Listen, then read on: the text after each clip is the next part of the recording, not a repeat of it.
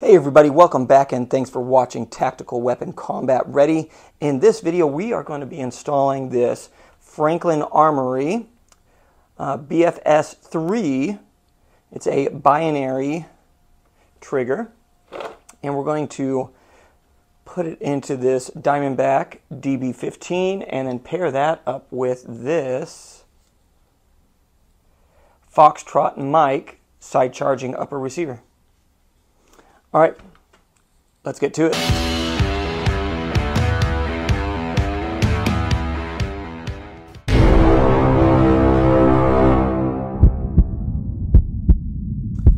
Okay, so this is what's going to be coming with the binary trigger.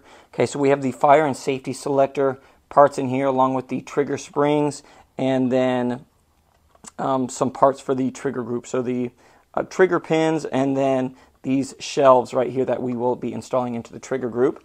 Okay. Now, when you're taking this out of the box, be very careful with the trigger group. Okay, this silver pin, you want to be very careful with that. Make sure it does not come out, because if that comes out, then the assembly here, okay, like the disconnector and the binary system will come off and then you'll have to reassemble that. And I have done it before where I've reassembled it. It's not a huge deal, but it is a little bit of a hassle. And if you do it on accident, you may lose a spring or something like that. So be very, very careful with that trigger group uh, when you're getting it out of the box and then as well as when you're handling it um, with the installation. Okay, so what we're going to do, I'm just going to open this up really quick. Okay. And then the fire and safety selector is a special type. So you can't use whatever existing safety selector that you have. Okay, and then it does have the instructions. Okay, and then there's a, the springs there. So it has a light hammer spring. That's on it already and then it has the standard heavier hammer spring here. Then we have so like I said that's the some of the extra parts there. And then we have two springs. One's a heavy and one's kind of a standard. So the one that's black I believe that's the standard one. And then this is going to be the heavy spring. And then I've done it where I've used just a standard spring uh, from a different parts kit, and that worked really well with that build. But depending on what you're running and you know barrel length and caliber, um, this is going to change. So um, you may need to change these out to make it run uh, the most optimal for you. So just be aware of that. All right, let's go and start installing. All right, so to get this started, we already have the uh, disassembly pins installed, the magazine release, and the bolt catch. And then we do have the Foxtrot Mike end plate, so that's holding the rear detent in. And then uh, you also have this plug right here that goes with the Foxtrot Mike upper receiver. Okay, so now we need to install the trigger, the fire and safety selector, and then the pistol grip. Okay, so we are going to put this fire and safety, I mean, sorry, the trigger in, okay, and then that silver pin, like I talked about before, be very careful with that. And then we are going to put these two pieces on there and line them up. Okay, so this is, so that's what it looks like right there. Okay, and this is going to be the same as that. Okay, so that's what it's doing. Okay, those pieces are not on the trigger group. Okay, so we got to put those on. And again, be really careful that you don't push that pin out. Okay, so there's one on. And then here's the second. And you want to make sure that the that shelf part, the, the shoulder, is facing up because that right here, that little shelf, that needs to be facing up because the hammer spring is going to be sitting on that. Okay, so now we're going to drop this in. And we want to make sure that those springs don't fall into the hole for the trigger. Okay, those need to be on the bottom of the receiver. All right, and what we're going to do now is we're going to push the trigger pin in. And so this is what it comes with. Okay, so it's kind of just a standard pin, but I'm going to put this style in.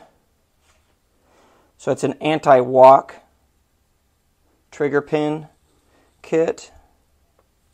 So it's going to prevent it from being able to work its way out. So I'm going to I'm going to do that. Now with this, now that silver pin that we have in here, so I'll push it back up so we can see it.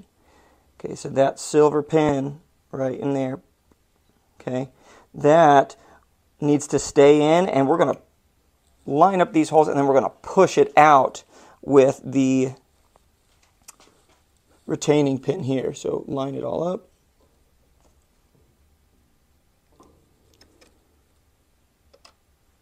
And then you'll start to see that coming out. Okay, so there's that silver pin starting to come out. Because remember, that pin, that's keeping the assembly together. I'm going to grab my hammer, and I'm just going to use the rubber end.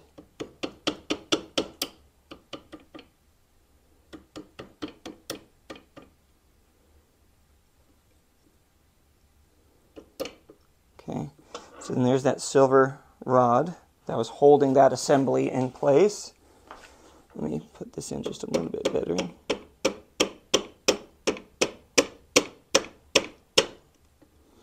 that's pretty good there. Okay, so that's the hard part. Now we're going to put the hammer in place. And then here we want to make sure that those shelves stayed in place down in there. Okay, so they are. So we're good to go ahead and put these next parts in. Okay, so the hammer, okay, we're going to put it in just like this. And we're going to push down on it and line this up with those holes now. Sorry, this is a little bit weird. I can't really see it very well since the camera's in the way. Ah, ah, did a pretty good job. Okay. Got it in. All right. So there's that. So and then right now this is how it would go on right here. So I'd get this and then a little screw goes into there and lines it all up. So I'm going to put some blue Loctite on this.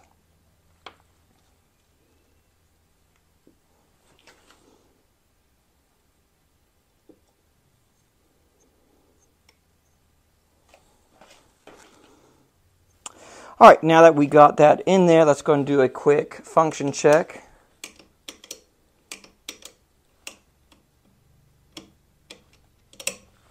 So we should have a reset. There we go. Okay, now let's move on to the fire and safety selector.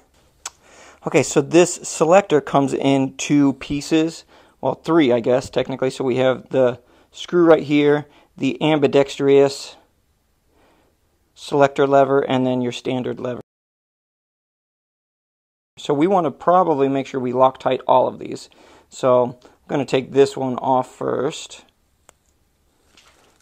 Yep, there was no Loctite on that, so we will Loctite both of these before we're done. Okay, and then when we're installing this, make sure that the hammer is down. Um, if you have it up, it's probably not going to go in very easily, and you might struggle to actually get it to fit in there. Okay, so there it's in place. Let's flip it around. And it does not come with its own fire and safety selector detent, so you will need to have one of those ready to go. Now, something that I'll kind of do, depending on the mood I'm in, I'll put a little bit of oil on the tip of this fire and safety selector detent. That way it kind of just helps break it in a little bit. Okay, and then it does not come with its own um, spring for that detent, so you do need to have that as well. Okay, so we're going to put this in.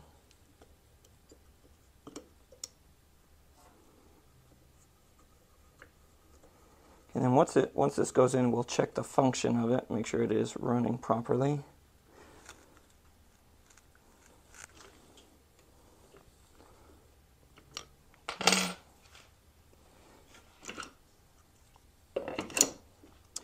Okay, so we have fire right there.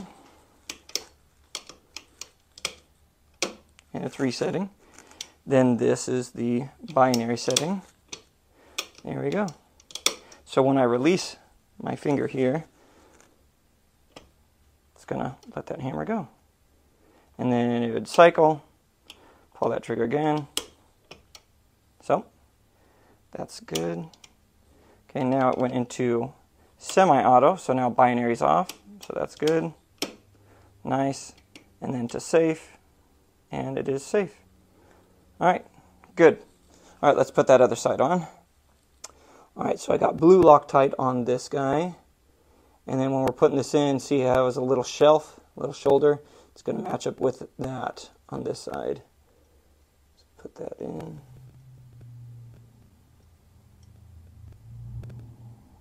And then uh, we do want to do the other side, some blue Loctite on that as well. Now, I recommend doing it in this order. That way you don't accidentally put this in backwards. So if you take both of these off first and then put the Loctite on before we install it into the to the receiver, you might accidentally put that in upside down and then it's not going to function. It's not going to do the, it's not going to switch to the different fire selections. There we go. Nice. All right, that's going to do it for this video. Don't forget to like, comment, and subscribe to the channel. And until next time, we'll see you later.